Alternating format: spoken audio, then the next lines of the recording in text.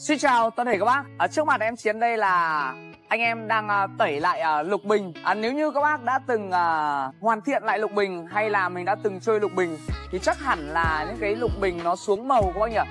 Xuống màu nó không còn là tự nhiên nữa và nó sẽ Ờ, đồng nghĩa với việc là nó sẽ không đẹp. Hiện tại ờ, đây là hai cái lục bình chất liệu bằng gỗ ờ, hương đá rất là to. Lục bình này đường kính 60 cao 2 m 2 các bác nhá. Hiện tại là anh em đang tẩy ra và bây giờ em chiến sẽ quay lại review cái quá trình tẩy và hoàn thiện như thế nào để các bác có thể xem. Ở đây thì có axit này. Đấy, axit axit để để tẩy chân thì phải cuốn lại tránh trường hợp là axit rơi vào rất là nguy hiểm. Đấy, đây bây giờ là mình sẽ quét ở đây trước. Để nó thấm khoảng 1 đến 2 phút. Sau đó là mình sẽ sử dụng à, 50 giây đến 10 giây thôi 5 10 giây. 2 phút vẫn được. Để càng lâu càng ngấm. Bây giờ mình sẽ sử dụng những cái dao dao mỏng này để cạo ra những cái lớp. À, lớp cái uh, lớp lớp mình đã hoàn thiện bên ngoài.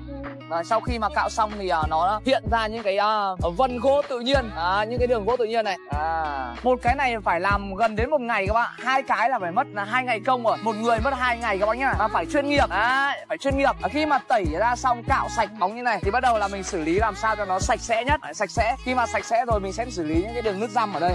Đấy, mình sẽ xử lý những cái đường nước răm ở đây hoàn thiện nước răm. Đấy. tiếp theo là sẽ à, quét lót và lên một cái lớp ở pu bóng cho nó là ok. Ở đây là từ những cái đường à, đường đường khe đường rãnh ở đây là làm rất là phải tỉ mỉ. Bởi vì những cái nhỏ nhỏ rất là khó làm này khó làm. Đúng anh thiện? Rất khó. Anh thiện à, cho em hỏi là à, trước đây anh có hay tẩy cái này nhiều không anh? Ít. Cái này nguy hiểm lắm. nguy hiểm đúng không? Đúng rồi. Rất nguy hiểm. Đây đây là axit này.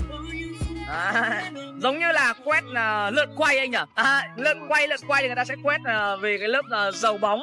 Còn đây là lớp axit. Khi mà quét như này thì mình sẽ uh, lưu ý những cái gì anh chị ạ tránh vào tay. Tránh vào tay à? Vào tay là À. bị bị găng tay. À, chính vì thế mà anh đeo găng tay hai lớp đây. Đúng rồi hai lớp. Ngoài cái cách mà mình làm thủ công như này còn có cách nào khác không anh thiện? Ví dụ như bằng máy móc hay là bằng uh, một cái thiết bị khác hạn máy móc thì mình bắn axit vào người. Máy móc là sơ bắn à? Còn cách này là đơn giản và hiệu quả nhất. Đúng rồi. À. Máy móc và axit là bắn vào người. À à à. Rồi các bác nhìn thấy chưa?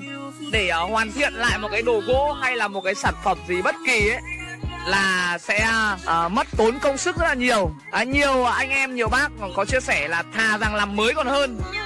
À, có những cái nha các bác nhá. Còn đây là cái lục bình to nên là mình sẽ phải uh, uh, sử dụng cái phương pháp này là hiệu quả nhất. Phải rồi. sạch đi sơn lại sẽ đẹp. Đúng rồi tẩy sạch sơn lại là đẹp. Mà cái lục bình này chắc phải hoàn thiện được mấy năm rồi anh nhỉ? Mấy năm rồi. mấy năm. Nên là khi mà mình làm đẹp lại là nó sẽ rất là bền. Đấy, đẹp yên tâm mà cặp này mà trưng ở trong nhà thì đúng là hết bài hết ý luôn. To đẹp gỗ bền. À, bây giờ sẽ xem cái cục bên này đi. Đây đây là cục bên này xem này. Đấy cục bên này xong rồi này. Cục này là tẩy xong rồi này các bác này. Ok chưa các bác? À, tẩy xong rồi. Đấy. anh thì ở đây cục này nặng khoảng bao nhiêu ký anh? Hơn 200 cân à? Hơn 200 cân. Thế thực ra cũng không nặng lắm nhỉ?